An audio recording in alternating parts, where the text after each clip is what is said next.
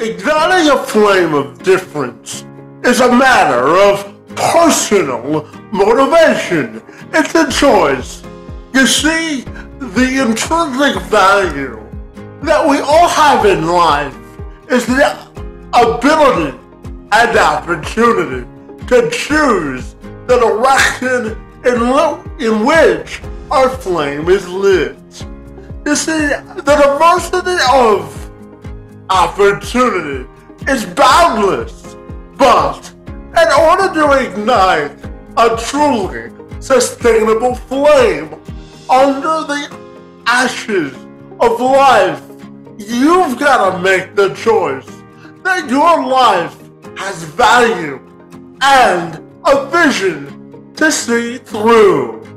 You see, contributing to life is a choice that we all individually make.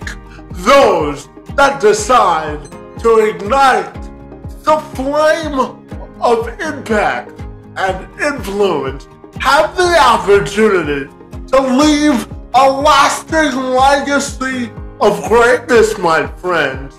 So igniting your flame is indeed your choice and your opportunity to etch the embers of your future firmly in the air. And my friends, unless you're here and present in the direction of your life, then your, fl- your flame will only be short lived. However, if you decide that you're invested in your own future for the long term, your flame will still be ignited even when you're gone. So, my friends, get into the game of life. It's a game. It's a game worth playing for sure. But my friends, it's also an opportunity for you to edge whatever difference in the stand you want to make. So get moving on life. Because after all, we only, my friends, have one to live.